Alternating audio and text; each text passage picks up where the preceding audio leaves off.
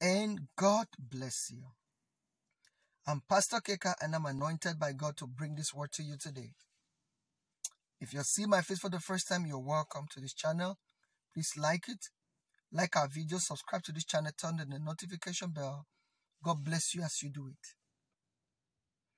Now, this is a prophetic word and it's for every one of you.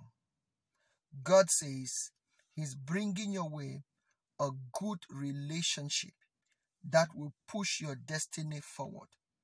And I'm not only talking about, uh, I'm not talking about a love relationship or a romantic relationship. I'm talking about God sending into your life friends that will push your destiny forward.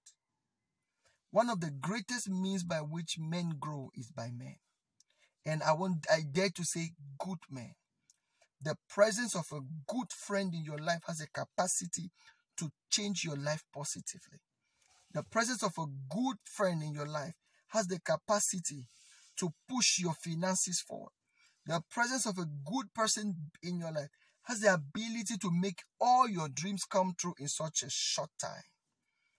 Good people can shorten the course of your, your, your, your life. They can end your struggle overnight. God said, I should say to someone, He is assigning good people into your life like He did David. He did Jonathan for David. I bless you in Jesus' name. Amen.